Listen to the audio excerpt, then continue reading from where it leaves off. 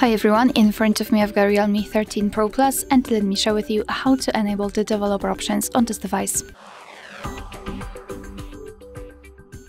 So let's start with opening the settings and here we have to scroll down to the very bottom to find about device.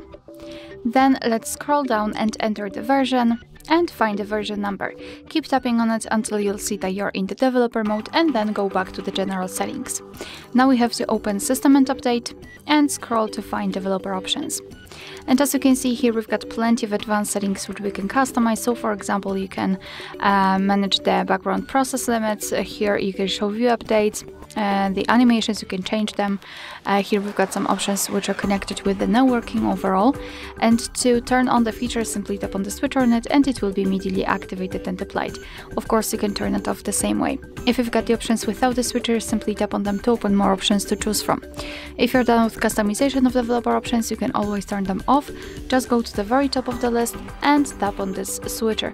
Your device um, you will need to restart your device so just upon restart I don't want to do it however after restarting the developer options will disappear from this system and update settings but of course no worries you can customize them again just go back to the uh, version number step and keep tapping Alright, so that will be all. Thank you so much for watching. Please hit the subscribe button and leave the thumbs up.